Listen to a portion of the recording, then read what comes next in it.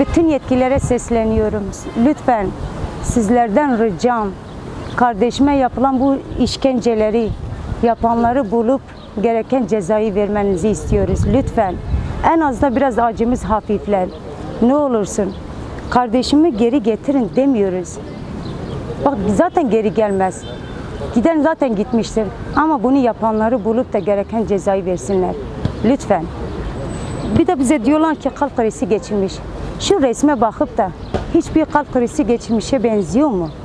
Bakın şu resme bir iyicene bir bakın. Ne olursun kim yaptı, neden yaptı, sebebini yani öğrenmek istiyoruz. Neden? Niye kardeşim bu hale girdi? Yani bunu öğrenmek istiyoruz. Bir şey de diyemiyoruz artık. Bütün yetkililere sesleniyorum. Lütfen. Ben Batman'da oturuyorum.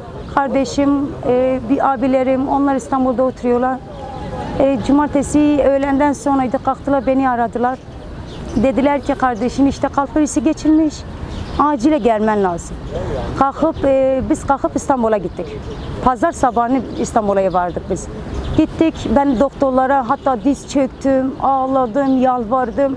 Ne olursun dedim uzaktan da olsa ben kardeşime o kadar hasret kalmışım ki şöyle uzakta olsa bile bana bir gösterin dedim. Doktorlara yalvardım dediler yok kardeşin iyi dedi dedi işte mücadele ediyor dedi o yaşıyor dedi. Yani ölümden hiçbir şeyden bahsetmediler. Bu bir kalp krizi olur mu Allah aşkına?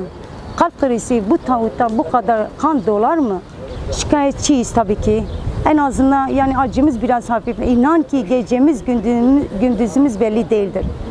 Yani şu an biz sağ mıyız, ölü müyüz bile belli değil. Bilmiyoruz ha. Şöyle ayakta duramıyoruz, kimseyle konuşamıyoruz. Şu resim olduğu sürece yani bence bize de yaşamak artık haramdı. Yani yaşamayalım en azından.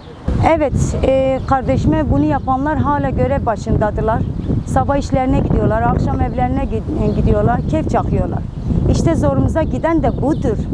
Yani kardeşimi bu duruma getirenler lütfen cezalandırılsın. En azından biraz içimiz rahat olur. Biz de bunu istiyoruz. Bu kardeşim kalp kriziyle gitmemiş, işkenceyledir.